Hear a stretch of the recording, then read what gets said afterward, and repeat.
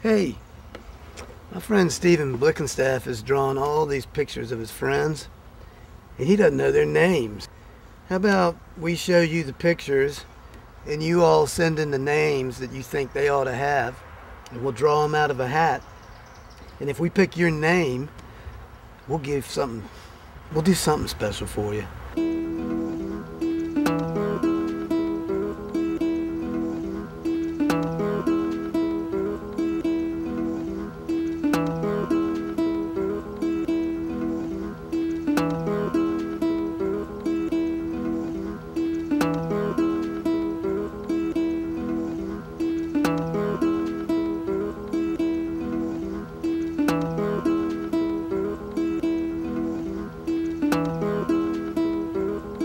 So send in what you think their names are to this address. And if you're right, we'll do something special for you.